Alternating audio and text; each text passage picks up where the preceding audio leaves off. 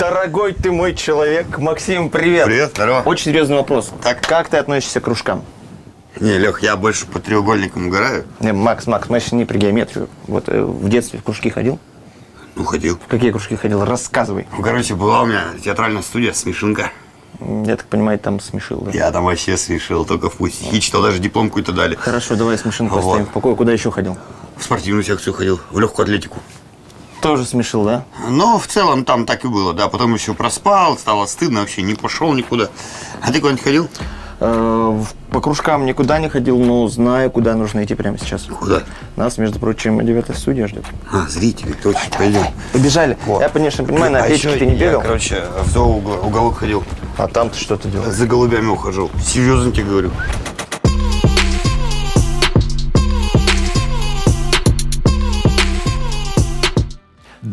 Доброго вечера! Это девятая студия. Это 3 мая. Это среда, пик рабочей недели, если он пятидневный. А у нас, к счастью, не А у нас он в этот раз четырехдневка. Да. На следующий трехдневка.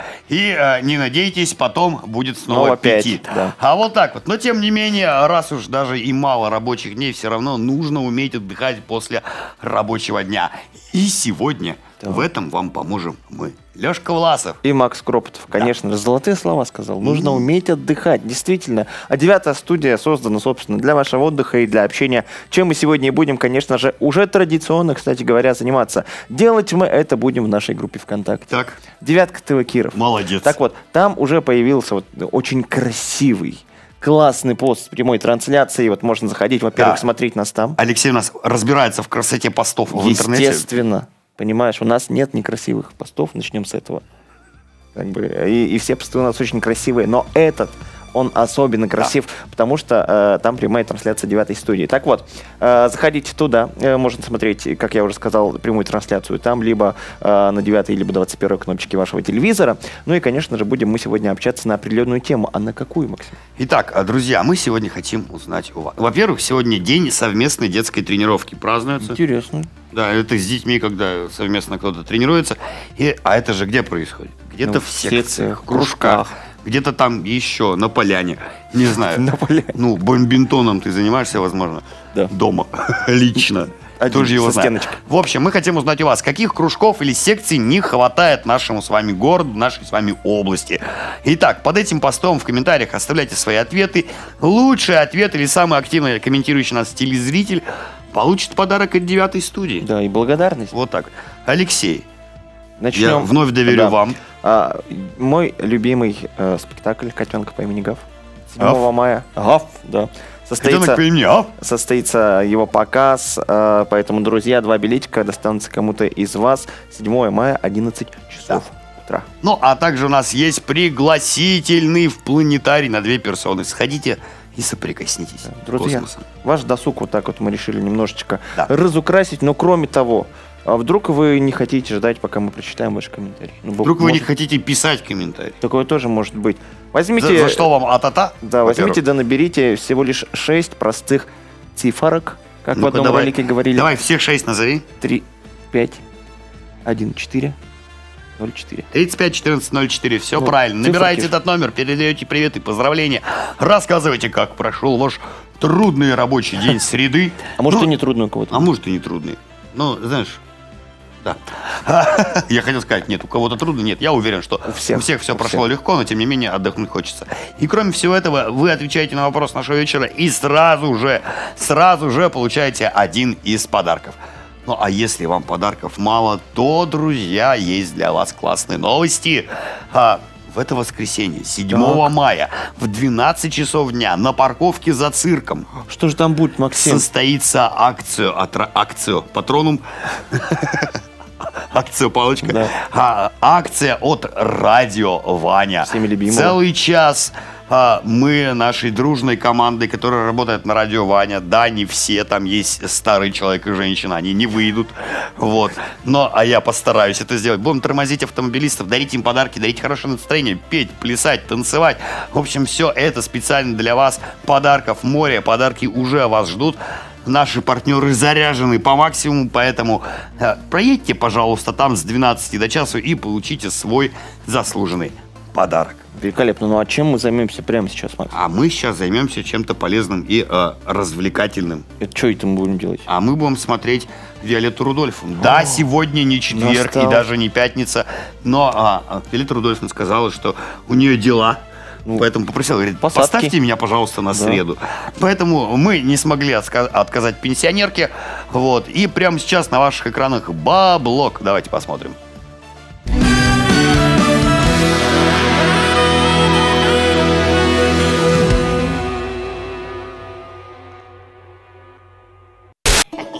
Ну, привет, Коноренос. Помнишь наше главное, правильно? Все правильно. Э, Не вешать камеру и нос. Ну, если все помнишь, поехали. Ты, я смотрю, революционер против законов бабкиных поперли, что я не поняла. Так, ну-ка собрался. Если сейчас камера не опустится, я тебе шоколадку куплю. Да. А с внуком прокатывала. Ну ладно, поехали. Хаю-хай! С вами снова Виолетта Рудольфовна. Да, та самая бабка, которая помнит абсолютно все песни своей молодости, но не помнит, куда вчера ключи положила. Ты, кстати, не видел их нигде? Нет? Эх, расцветали яблони и груши. О, ну что, чтобы улучшить, как говорится, бабкин жесткий диск, ей нужна денежка. Именно поэтому, по старой доброй традиции, как говорится, бабке денежка нужна. Глянь видосы страна. Ну что, встречай, народ, бабушкин блок. Party for everybody dance. Come on and dance. Come on and dance. Коль от вашего пульто остался только ноль, знать, откушала его в вашем шкафу моль. Не, я, конечно, слышала про съедобное белье, но не про верхнее йогура какая. Короче, ежели ваша шерстяная оболочка превратилась в одно большое ничего, то тут есть два варианта. Старый хрыч решил, что ваш кофтан идеально подходит, чтобы накрывать для обогреву двигатель своего драндулету, либо на территории вашего шкафа нелегально и без прописки обосновалась моль. И как депортировать этого крылатого нелегалу и оставить свой пыльник в журе, я вам сейчас расскажу. Возьмите хозяйственное мыло и намыльте шею моли. Шучу, шучу. Хотя фраза «намылить моль» звучит. Короче, положите мыло в кафтан своего тулупа, и моль навсегда покинет территорию вашего шкафу. И приятная весенняя соточка останется в безопасности.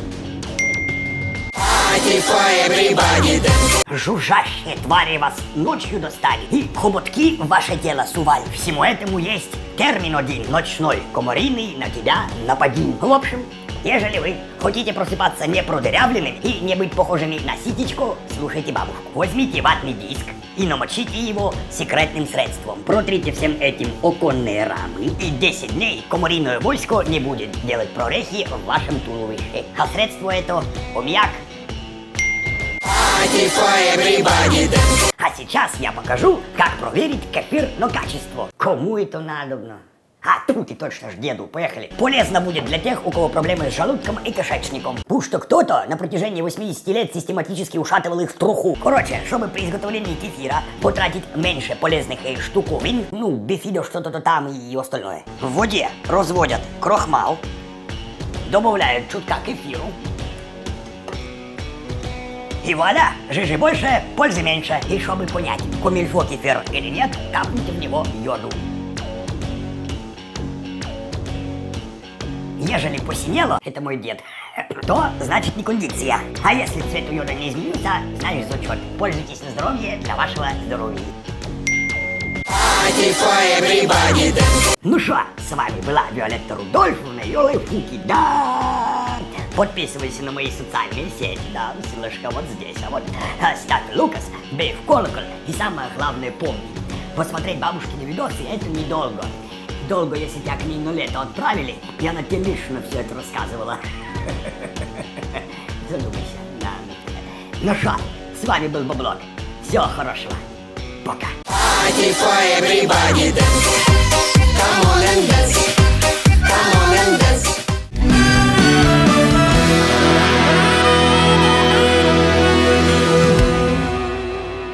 Как мне эти бабушкины словечки нравятся. Пока, лайфхук, Йокорокока. О, тоже очень хорошее слово. Да, это, у меня- это мое любимое. Кто у нас сейчас появится-то? Так а, Ванька Пестерников Йокорокака появится на студии-то у нас. Ай-ухай! На, на прямом эфире-то.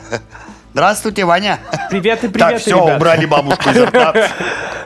Как дела, Вань? Как дела? А, У меня дела замечательно. Как ваши дела? Слушай, а у нас очень хорошо, ведь а, ты появился у нас вот здесь, вот прямо сейчас, и что-то интересное принес, чтобы победить нас, но мы тебе это не дадим сделать. Мы вот такие. Я поддамся, честно. А поддамся это в чем, собственно? Поддамся в моей любимой игре. Нашел все различные товары. В интернетах ваша задача по фотографии определить, что же это за товар и для чего он нужен. Так, ну что, разминаем мозги. Разминайте мозги, а пока на ваших У тебя мозги экранах... здесь? Я весь разминаюсь. Товар номер один. Мультиварка. Нет. Было бы легко, да? Аэратор воздуха. нет, нет, нет. Для зубов э, Увлажнитель штучка, как это называется? Нет, не увла- Э, Давайте дам первую подсказку, чтобы вы пальцем в небо не тыкали. Хотя у вас часто такая стратегия работает, Да. конечно же. Э, Снизу, вот где основание, Шланг. там шланг намотан, да. Это мини-стиральная машина, ультразвуковая. Нет. Это поливальник. Не. Это умывальник. Посудомоечная И машина. все равно в пальцем в небо тыкают. Это связано с чистотой. А в него в шланг дуют или из него течет водичка? Или он сосет? А, тут как, как захочешь. Не, ну, или а, сливается грязная вода с этого шланга. А, Не сливается вода с грязного шланга, но он может э, и всасывать, и, и э, Высасывать, да. Высасывать, получается. Это Дуть- насос. Дуть, дуть водой, я бы вот так даже Это сказал. насос. Нет, Это поливальник, я уже говорил. нет. А внутрь, кроме воды, что-то кладется? А, да, моющее средство. Это стекла мыть штука. Нет, Окна. нет, Машину? Нет, нет, нет, нет. Ну, это, эта штука что-то Мини- моет. Мини-мойка. Она что-то моет, но это не связано ни с мебелью, ни с техникой. А с полами? И полами тоже не А связано. с потолками? И с потолками тоже а не с связано. одеждой? С одеждой связано. Нет. С окнами? Что еще можно мыть? Себя. Себя. Мать. Теоретически этой штукой можно помыть себя. Но изначально она предназначена вообще не для Маленькие детальки какие-то мыть она этого. Нет. Это душ? Можно и так сказать. Но это не точное Может быть, это для животных ванночка? Это, Может быть, это и для животных. Это мыть животных?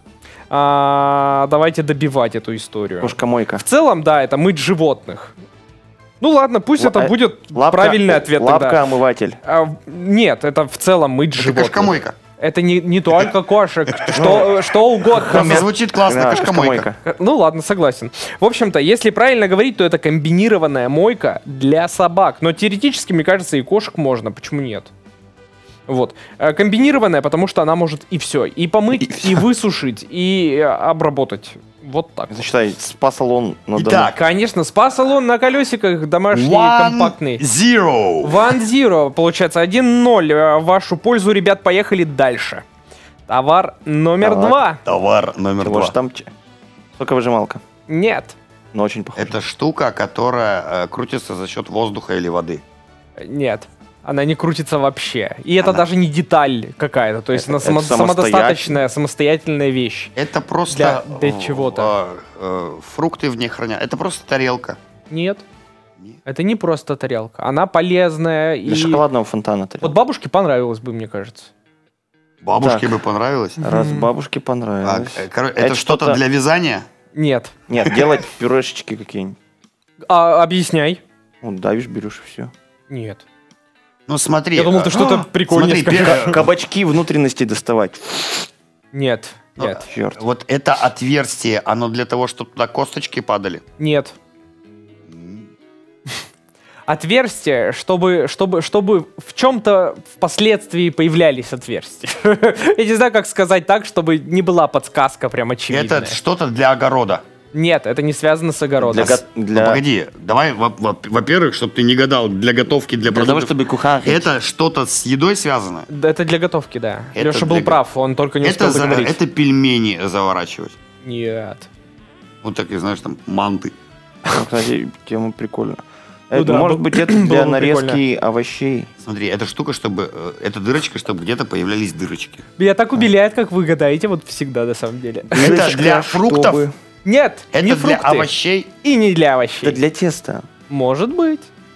Я понял, это чтобы э, удобно было эклерчик наполнять начиночкой. Берешь э, карман этот, нет? Нет, нет. Это просто тесто настаивается, а снизу подается воздух. Это как это так? Тесто Я не продувается? знаю, А как. для чего? А для чего, зачем? Это что-то для запечения? Нет, это Да. взби- А, так это форма просто. Да, это просто форма для запекания, ребят. Для того, чтобы Господи. делать красивые булочки. Просто, Хорошо. чтобы делать красивые Zero, булочки. two, Да, да. two, zero. 2 2-0. А, Кто же выйдет, интрига остается... э, Кто же выиграет, интрига остается Давайте открытой. так, давайте будем честными. Давайте будет один-один. А чё, почему? А что, зачем? Потому Чтобы что- интрига была? Потому что а, это не мы, не мы правильный ответ дали. Да, это внутренний голос. Хорошо. Хорошо. Часто ты с, с внутренними голосами Мне разговариваешь? частенько, да, приходится. Пора в отпуск. Товар Давай номер три. один-один. Итак, товар номер... Ну, это посложнее будет. Я хотя бы один балл должен отвоевать Так, честно. давай сразу. Это связано с мусорными баками. С моими любимыми мусорными баками ты это хотел сказать? Нет, Максим, и это даже не связано с физиотерапиями. Это с обувью связано. Нет, это не связано с обувью. А связано ли это с фасадом здания и... Да. Ты как вообще просто? Ты что-то знаешь, что не знаем мы, Нет. видимо, да? Может быть, это держатель для водопроводных труб? А, нет, но очень Это рядом, очень близко. инструмент. Это просто инструмент. Это не связано со стройкой, Максим. Это Но не того, связано чтобы- как-то с фасадами, Но да? как-то связано, Это да, что-то, с, что с чистит. домами. Это чистит. Э, да, это, для что-то, что-то чистит. Вы, швы, Нет, плиточки. нет, нет, кирпичиков. нет. А, я понял. Водопроводные трубы чистит. тут. Нет, не водопроводная Стоки, труба. стоки. то есть стоки. Сверху. А, сверху? Ну да. Да. по сути это правда. Это правильный ответ, ребят. Это инструмент для чистки водостоков. Э, на палку это, накручиваешь, это уже мой голос сказал. на палку, получается, эту вещь накручиваешь. Ох, как и мне просто такая штука нужна. палкой вот так вот проводишь, и все листья, э, получается... А Вот не у выпадают. всех же угловатые такие стоки. Давайте будем честны. А там разные формы бывают. Я просто взял одну, чтобы вас не путать лишний раз. У меня вообще это... Чтобы нас не путать лишний раз и, и запутал. Вы сразу же угадали. Вот тут Да? Леша просто опять как-то А Леша вообще супер дедуктивная методология у После него. этого я тут еще и где-то должен... Нет, я на самом деле Отдуваться. изначально про эту штучку подумал, просто не знал, как объяснить нормально, чтобы меня поняли. Ты такой молодец, Леш. Вань, Алеша, молодец. Леш, слушай, молодец. спасибо тебе большое. Было Ой, классно, спасибо. интересно, забавно, круто, весело. Но это еще не Но все. это еще. Ой-ой-ой, ой-ой-ой. Ответь-ка нам, Ваня. ну, Когда ты в отпуск. Ладно, а, а каких кружков и секций не хватает в нашем городе? Сложный вопрос, на самом деле, ведь у нас очень-очень много всего. Наверное, кружков пилотирования. Я не знаю вообще, есть ли такие в Пилотирование городе. чего? Да, да, да. А, ну, я не знаю, перопланов, там всяких Аэропланов? самолетов. Или хотя бы воздушных змеев. Или хотя бы воздушных змеев, да. Кружок воздушных змеев. Вот Ну, пусть будет я так. бы очень сильно хотел, чтобы у нас в городе открылся а, кружок по этому. По этому. камни-то кидают по льду. Керлинг? По керлингу. О, да. Прикольно же. Ну да. А еще роллер-дрома у нас нет классного, чтобы светомузыкой, как, Как- в как- 80-х ты ехал на Я думаю, роликах. что где-то есть, Но мы не Ну, мы, знаем. да, но просто. мы не знаем, да? Где-то Не подпольно. для нас он встроен. Где-то подпольные 80-е до сих пор существуют. Наверняка. Вань, А, спасибо тебе да. большое. Ты классный. А, хорошего тебе вечера. Ну, а мы, друзья, продолжим. Вот, э, см- знаете, вот у нас Ваня музыкант, Так. Леша музыкант. Я музыку слушаю. Тоже музыкант. Вот такой вот я человечек. А, Так, и к чему прямо это сейчас хочется э, рассказать вам про музыку. Про Что, про что-то такое новое, классное, что недавно вышло в свет. Да? Тут топ-5 клипов, ну что вы поняли. Ах, вот Что оно что. Давайте смотреть Давайте уже. смотреть ёлки-палки. и танцевать.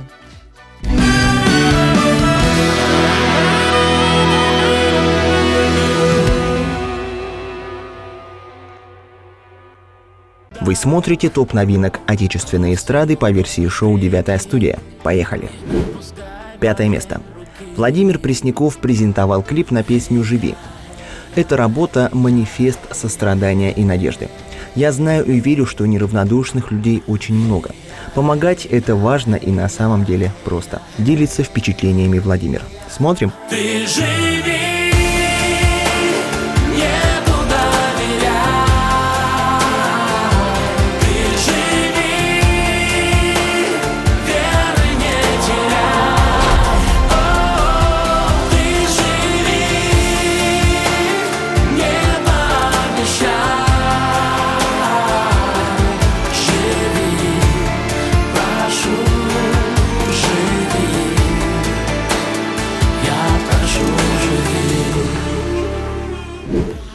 Четвертое место. Эстрадный певец и народный артист России Николай Басков выпустил экранизацию свежего сингла «Ты неотразима». Это яркое музыкальное видео, в котором артист воспевает красоту прекрасной незнакомки на фоне роскошных декораций. Внимание на экран. Ты неотразима, как прима Все красотки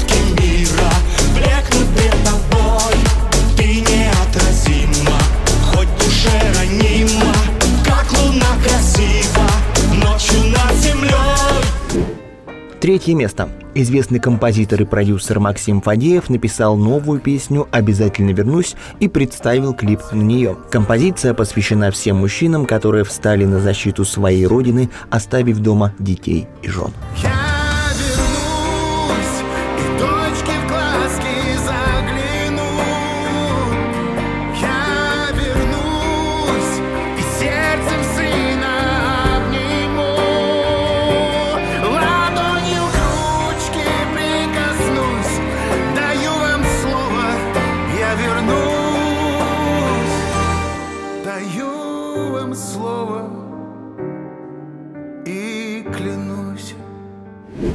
Второе место.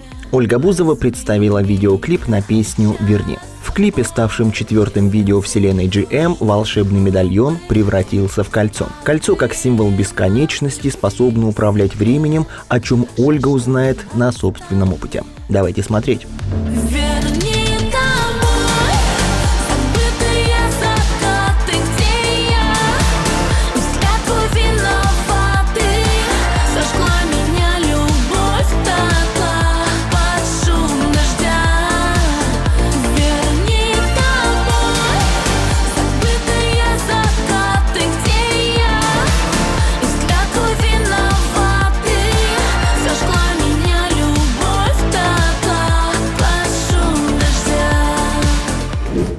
Первое место. Поп-исполнительница Анна Асти выпустила клип к синглу «Верю в тебя». Как отметила сама исполнительница, «Верю в тебя» – песня особенная. Она о том, как ценно найти человека, которому можно открыть свое сердце и довериться после потерь и предательств.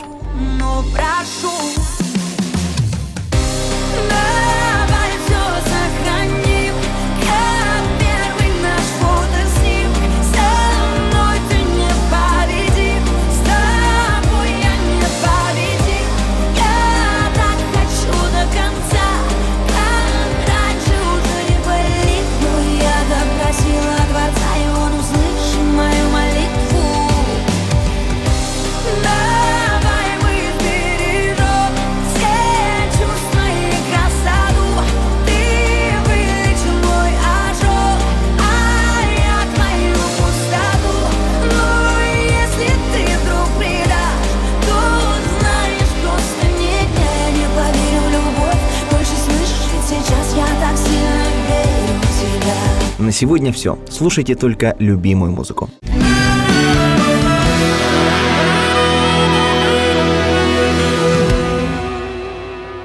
Ну что, спели, сплясали, прямо сейчас еще и почитаем ваши ответы на наш вопрос вечера. Каких кружков и секций не хватает нашему городу? За это, во-первых, вы получаете два билетика в театр кукол на спектакль «Котенок по имени Гав». На 7 мая, на это Да, воскресенье, 11:00. на 11.00. А после этого сразу же э, с 12 до часу едем... э, В планетарий? Не в планетарий, А куда? а на стоянку за цирк А, точно. а где пройдет акция после. «Радио Ваня» и получить подарок. А уже после можно еще и а, в планетарий или до. Или до. Сходить в планетарий на две персоны у нас есть э, специально для вас сертификатик. Ну что, поехали узнаем, Почитаем. каких же кружков и секций не хватает в нашем городе. А Вот Алексей. Светлана Васенина, э, между прочим, говорит, что привет, ребята. Это как Иван Пестерников. Да, вот она говорит, нравится мне привет, Ивана, привет, ребята. Мне показалось ли у вас новая заставка? Классненько. Вам показалось, эта заставка уже год как существует. Год как с Вот, нами. поэтому, ну, у нас э, всегда появляются новые телезрители, и мы Да. чему бес- Мы бесконечно рады. Вот. И З- Светлана продолжает. Так, Я, ну-ка, с Светлана, вашего позволения давайте, я позволяю. э, докончу э, сие предложение. Уж не знаю, чего только нет, как я погляжу. Иму студии, фолк, джаз, э, Жонглер студии. иза студии. Кажется, все есть, только бюджетных, бесплатных кружков. Думаю, не хватает. Где они? Коминтерне детский центр есть типа дома школьника бесплатный. А где еще? В Дворце пионеров, может? Все сейчас на коммерческой основе. Бедные родители. А, Дворец пионеров, напишите нам, есть ли у вас бесплатные кружки. Ждем. Евгений Джекс, здравствуйте. Кружок фехтования. О, кстати. Ты слышал? Ну, слушай, есть у нас, есть. Есть? У нас Я не есть. слышал, честно. Да господи, мы даже отправляли когда-то Ивану Пестернику снимать сюжет про фехтование. Что ты, родной? Участвуй в жизни организации-то немножко. Хорошо, хорошо. чё- Есть, сразу- есть, но их мало, да, давайте согласимся. Они есть, но их не хватает, хотелось бы побольше. Либо им- у них просто плохая реклама. И фехтование города Кирова. А Подписывайтесь. прорекламироваться можно на нашем телеканале. Елизавета Бушемелева, возможно, туристско-краеведческих. Ну да, кстати, вот э, Светлана Васильевна, да, раньше туризм был больше развит, как хоро- клуб хороший был, интересный, как э, он поживает, этот клуб. А, пригласите, э, пригласите-ка нам представителя. Краеведение тоже недостаточно хорошее дело. Экскурсии по городу, по области. Что значит? Пригласите-ка нам представителя. Так, зашел. Стал. Вот так вот, мне Да, кажется. давай Но дальше. на самом деле, мне кажется, не знаю, как ты, лично я ну, знаю, что и кружков есть, и регулярные экскурсии по городу водятся. В общем, и они интерактивные, что самое главное, интересное.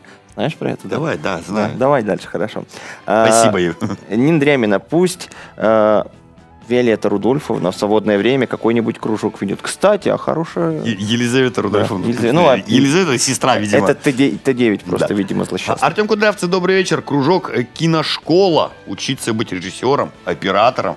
Да, операторов нынче не хватает. Соглашусь, Да. соглашусь. Но что делать? А Также Оксана Скопина пишет, городу не хватает кружков по вышивке и секций по баскетболу. Кружки по вы. А я, а я еще, еще и вязать охота, да? Да.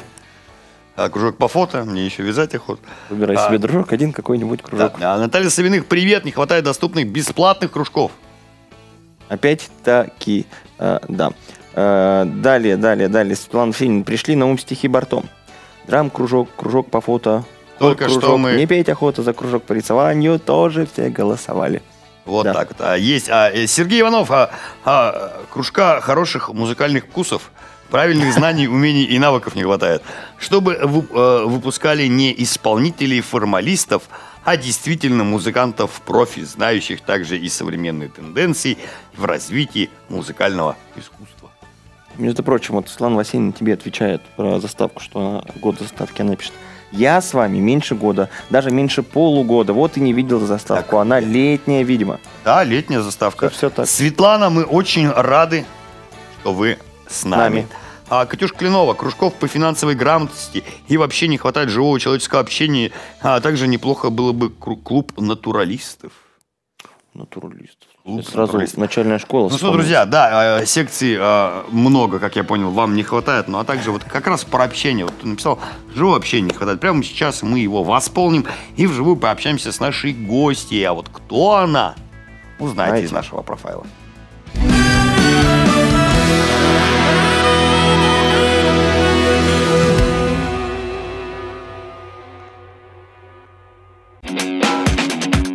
Дамы и господа, встречайте, сегодня в гостях у девятой студии режиссер городских и областных концертных программ, режиссер-постановщик Вятской филармонии Светлана Лаптева.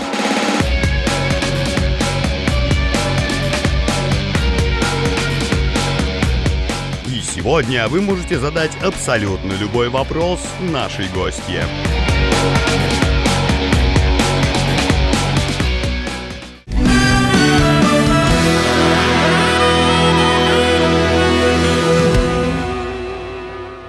А вот и она, Светлана в нашей студии. Здравствуйте. Добрый вечер. Здравствуйте. Как дела, как настроение у вас? Ой, сегодня хорошо. Сегодня хорошо. Сегодня хорошо. чем Да. связано? А вчера что было? Не всегда так бывает. Очень сейчас идет активная подготовка ко Дню Победы, и поэтому мы очень много работаем. Да, что нам Да. ожидать от вас? Ожидать от нас... И от Вятс- филармонии в целом. Да, от Вятской филармонии замечательную программу под названием «Последние свидетели войны». Она состоится у нас шест... в обратную сторону, да, Да-да-да, сдвигаться? да. Она состоится у нас э, 6 мая, 17.00 в Вятской филармонии. Мы всех приглашаем. А, Это будет необычная постановка, это будет постановка документальная. Сейчас расскажу поподробнее. Так, давайте. А, Во-первых, самая главная ее фишка Плюс это то, что все пройдет в сопровождении живого оркестра. Это Вятского оркестра русских народных инструментов имени Шаляпина. А, и примет участие огромное количество артистов нашего города, как вокалистов, так и хореографов, так и актеров, и из театра на Спасской, и кукольного театра. Это будет такая музыкальная история, маленький музыкальный спектакль, основанный на воспоминаниях а, кировчан, наших ветеранов, а, которые прошли через Великую Отечественную войну. А, Есть такой замечательный фотокорреспондент а, Денис Борисов, и он в свое время собрал вот эту историю, последние свидетели войны, он объездил наших ветеранов, побеседовал с ними, записал их на видео, интервью, аудиозаписи, сделал фотографии замечательные, красивые, как и цветные, так и очень глубокие такие пронзительные черно-белые. Когда ты смотришь на фотографию, видишь взгляд ветерана, который тебя, ну, просто вот пробирает. Пронизывает. Да, до глубины души. То есть ты смотришь на фото, и есть ощущение, что он смотрит прямо тебе в глаза.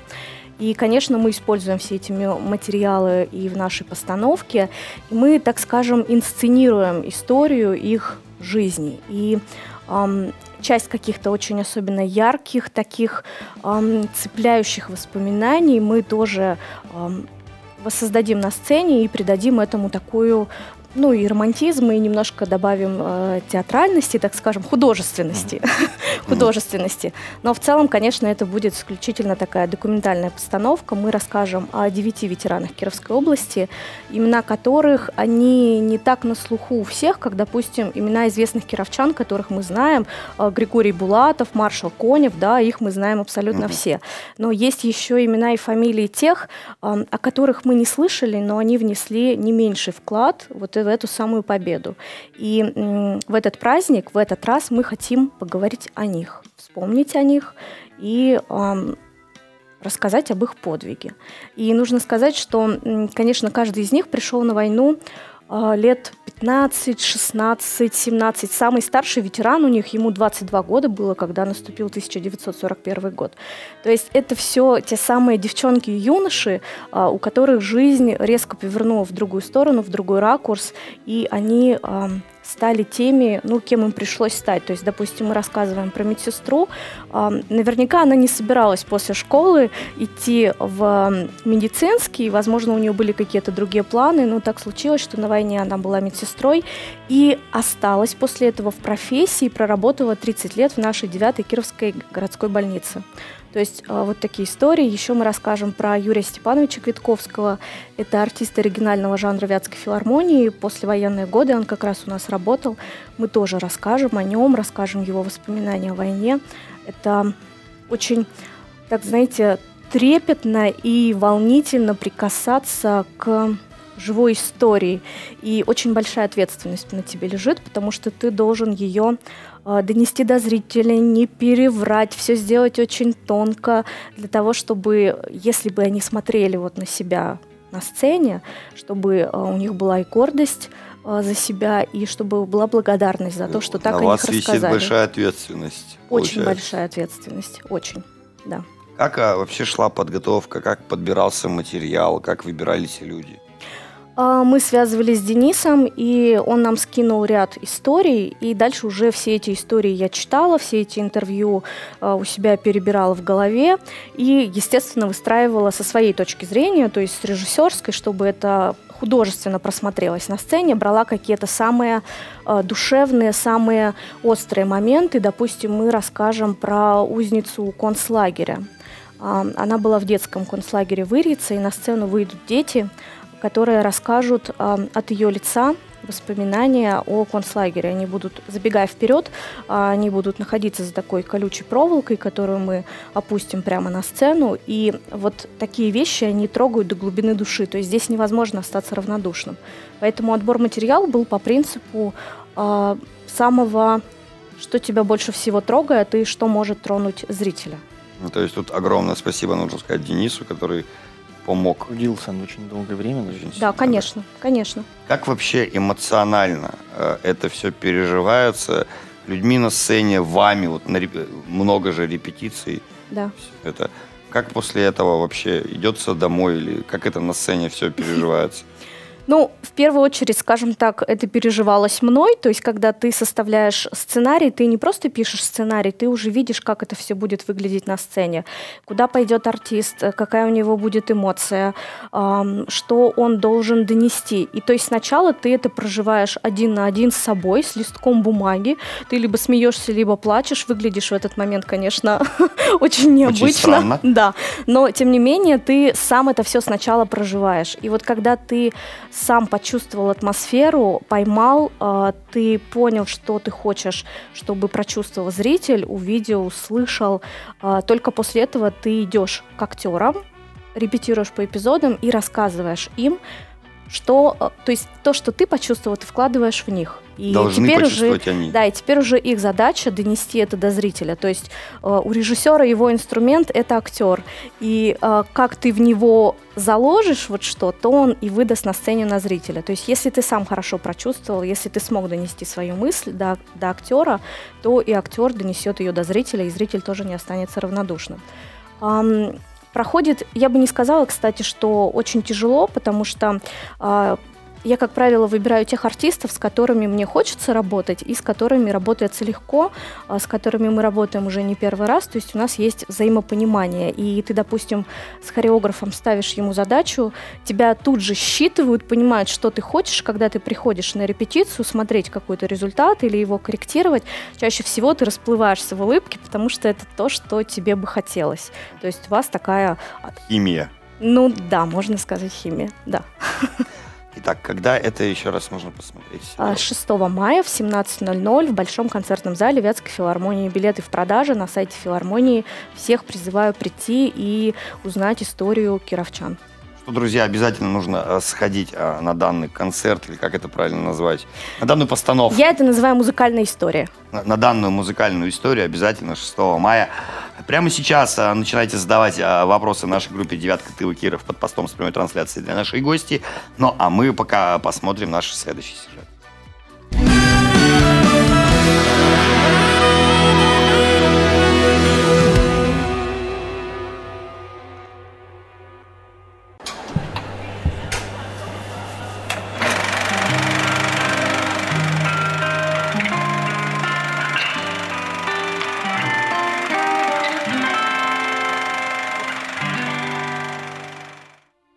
Я хочу рассказать о фильме «Иди и смотри» а, режиссера Элема Климова, который я увидел в своей юности.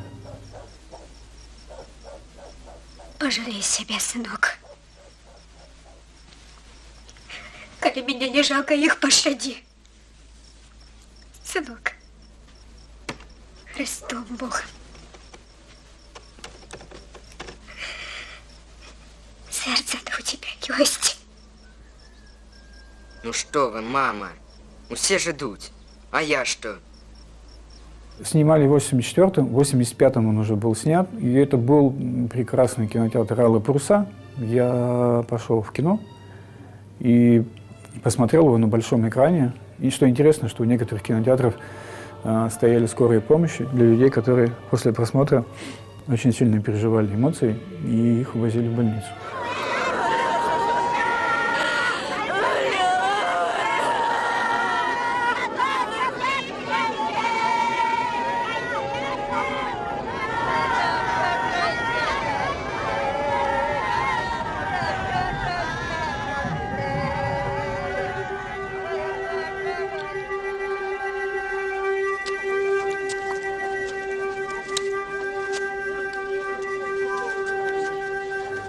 Госкино к 40-летию войны предложило снять а, фильм о войне Элема Климову.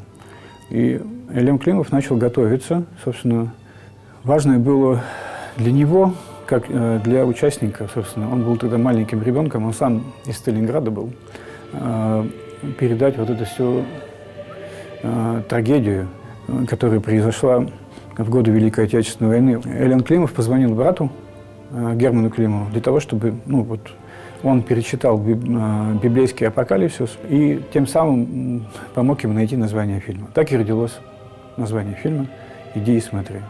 Это отрывок из библейского апокалипсиса. Хочешь забью? Отдай! Ты что, отдай!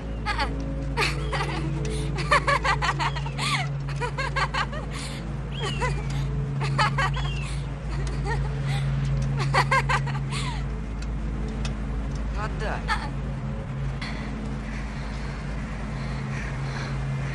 Один, два, три.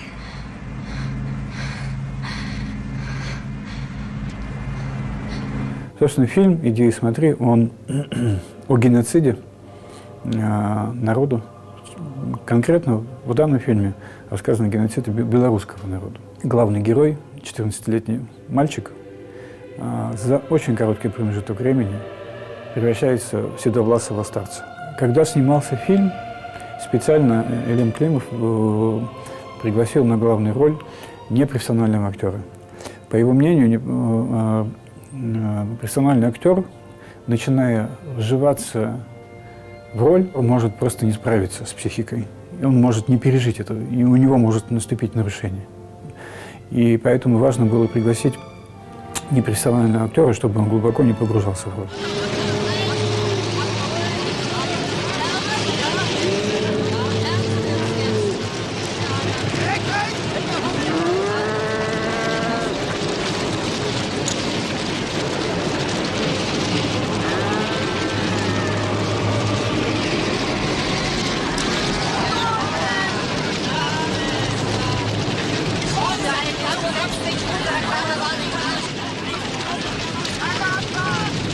Основное ху- художественное высказывание фильма для меня это о том, что грань между человеческим духовным и звериным дьявольским, а, она очень зыбка. Когда человек переступает нравственные, моральные ценности, он превращается в животное.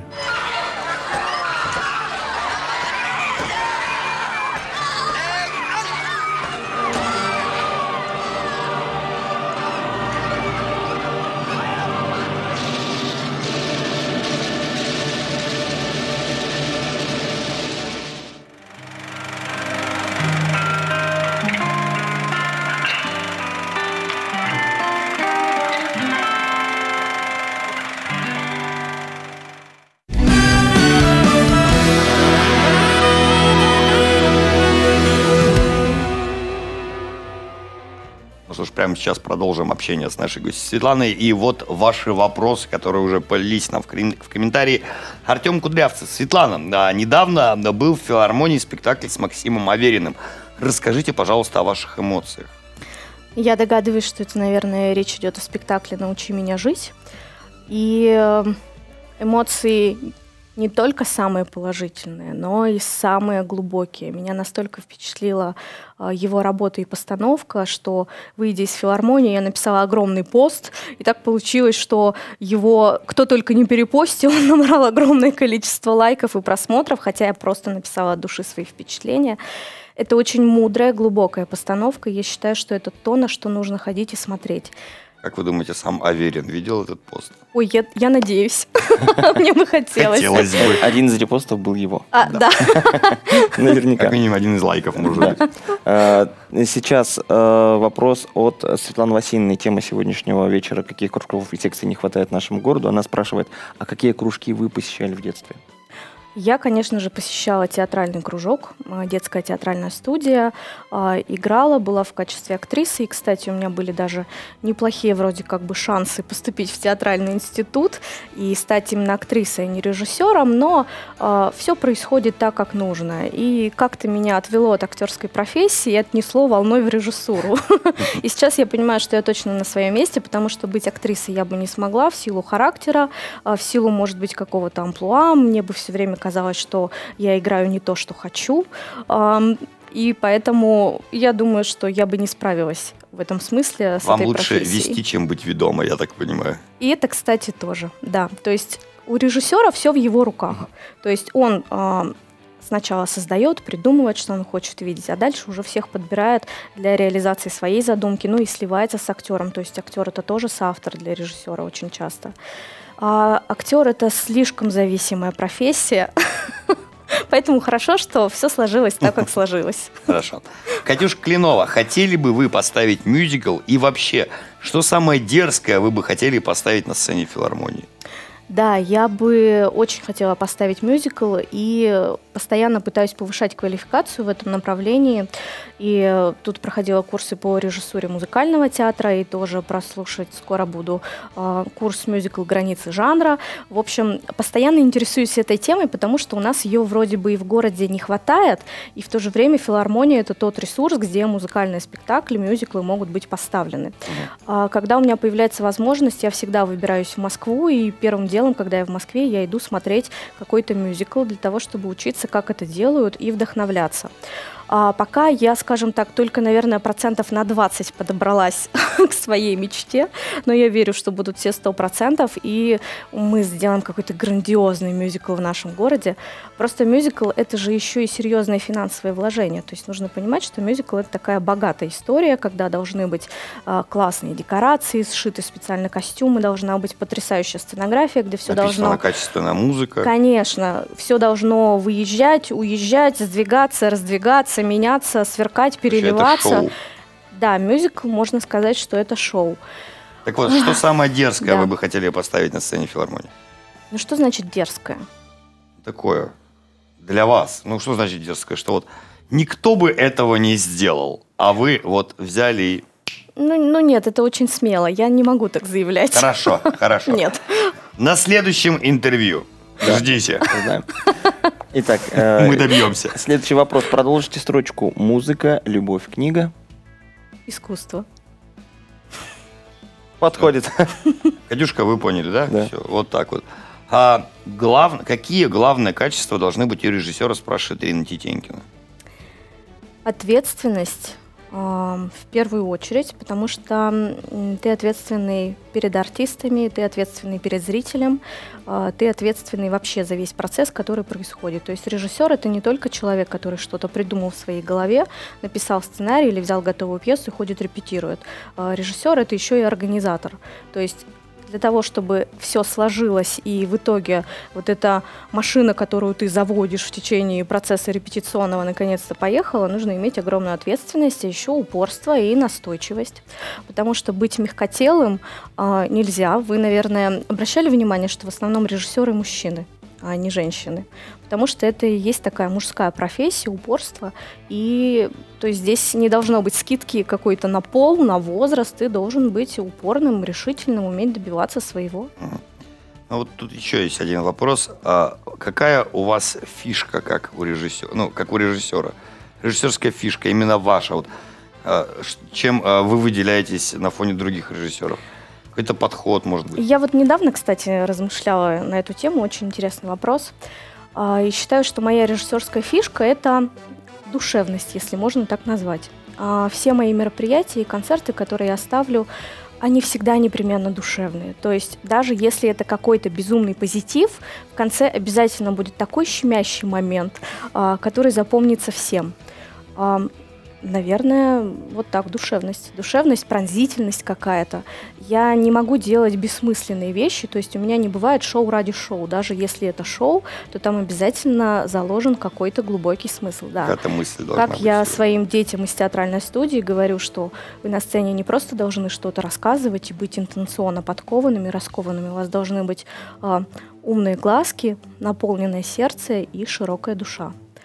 Как хорошо сказано. Ну, действительно так, и режиссер должен обладать этим же самым. Ну, друзья, вы огромные молодцы. Вопросов а, вы задали сегодня очень много. Прямо сейчас мы будем выбирать победителя. Ну, а вы пока а, посмотрите и записывайте рецепт вкусного ужина.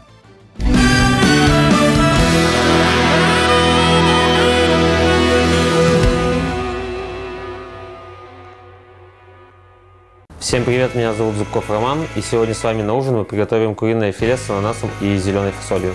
Для этого нам понадобится куриное филе, зеленая стручковая фасоль, консервированный ананас, морковь, лук, болгарский перец, а, зеленый лук, петрушка, а, немного молотого имбиря, крахмал и кунжут.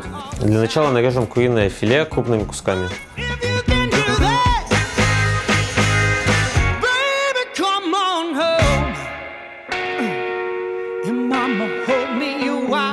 Далее замаринуем куриное филе а, соевым соусом и сиропом от ананасов.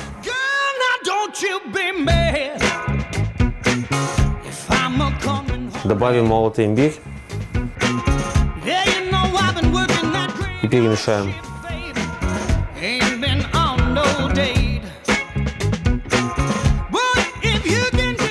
Оставляем на 10 минут, а пока нарежем овощи. Морковь и лук нарежем соломкой.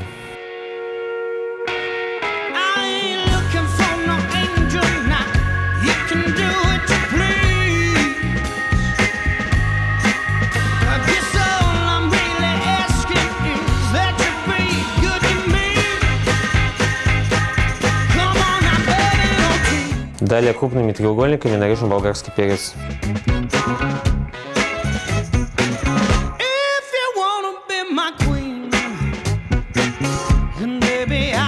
Все продукты у нас подготовлены, остается это все довести до готовности. Начнем обжаривать мускулиновое филе, затем через 4 минуты мы добавим нарезанные овощи, а, лук, морковь и болгарский перец. Затем еще через 4 минуты добавим а, стручковую фасоль и в самом конце добавим а, ананас и соус.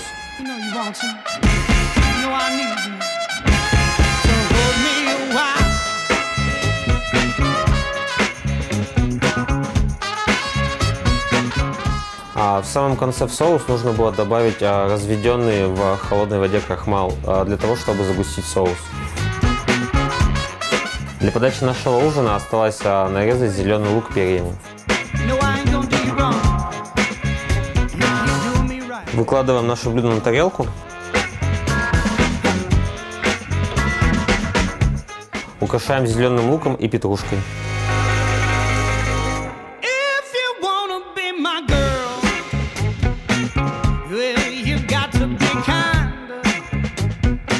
И в самом конце посыпаем кунжутом. Наш ужин готов. А сегодня это куриное филе со стручковой фасолью и ананасом. Всем хорошего вечера и приятного аппетита.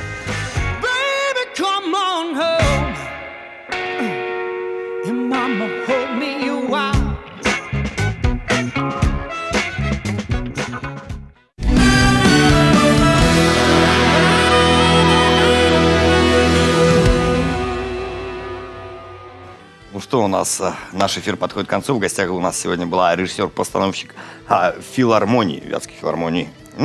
А, Лаптева Светлана. И прямо сейчас будем дарить вам подарки. Подарки вам будем дарить. Итак, а, первый подарочек это билет э, в театр кукол на Котенок постановку Гав. «Котенок по имени Гав».